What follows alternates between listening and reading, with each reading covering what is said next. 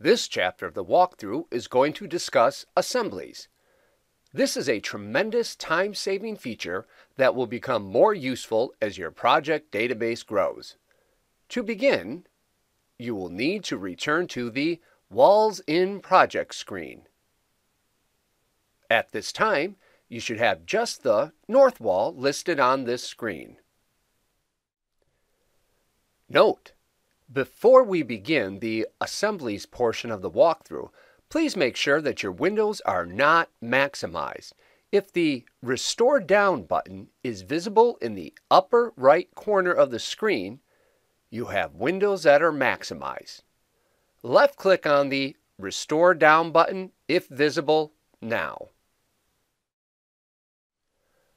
Let us say that a pier in this project is similar to a pier that was created in another project. Instead of taking the time to select new materials and build a wall like you did for the north wall, you're going to select a pre-built wall or pier and all of its materials from assemblies and then place it on your floor plan. Click on the Assemblies icon located at the top of the screen you will be brought to the Assembly screen. This screen will list all of the projects in your database just as the project screen does. From this screen, you can copy any wall or opening from any project that you have previously taken off. The ABC project that you are currently working on will be listed here as well. To view the available assemblies, click on the plus sign to the left of a project title, and all of the walls and openings in the project will be listed. Click on the minus sign to close them. When the walls are created, you can fill in a detailed description of what is in the wall. This description will appear at the bottom of the screen when the wall is highlighted. This detailed description will make it easier when you're looking for a similar assembly to copy. Let us look at an example of this. Click on the plus sign next to the Show Demo project. All of the walls in this project are listed. Put the cursor on and highlight the 2x2 pier. When this pier was created, Detailed notes on its construction were entered. These are now listed at the bottom of this screen. Any notes that you enter on the wall screen while doing the takeoff will appear at the bottom of this screen. If you wish to see the wall before you drag it into your project, highlight the desired wall and then click on Change. This will bring up the Update Wall screen. When done viewing the wall, just click on the Cancel button and you will return to the assembly screen. All right, let us continue. Let us say that this 2x2 pier is similar to a pier that you need for your ABC project. You are going to drag and drop this assembly. Left click and hold the button down on the 2x2 pier. Now, drag the cursor back over the wall screen and the cursor will drag a box icon. When you see this box, release the left button.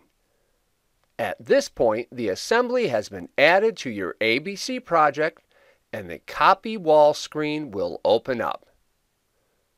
We will go into more detail on the copy wall feature in another chapter of the walkthrough.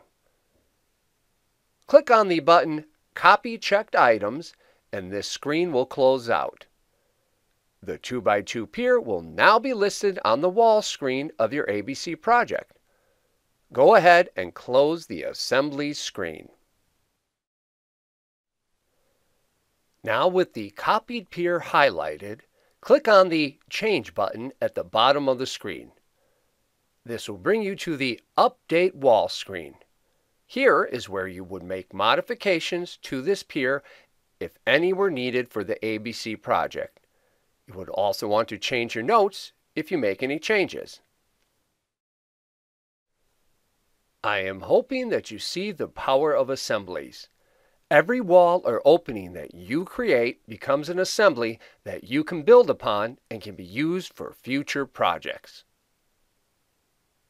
All right, time to place the 2x2 pier. Click on the Place Wall button. Position your print so that you're looking down on the front of the building. There are two locations by the front door for piers. The pier is created in wall shapes, and yes, wall shapes will be covered in another chapter. Wall shapes are placed with an anchor point and a direction placement. Make sure you are in Pick mode and left click on the front left corner of one of the pier markings on the floor plan. This will be your anchor. Then, left click again anywhere on that same line in a counterclockwise direction. This will be your directional mark. The pier will appear and be calculated. Now, go ahead and place the second pier. You have now brought in and placed an assembly. All the materials and labor that were brought in with this pier are now in your ABC project.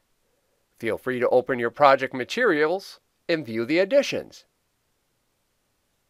This concludes the chapter on assemblies. The next chapter will cover placement of interior walls.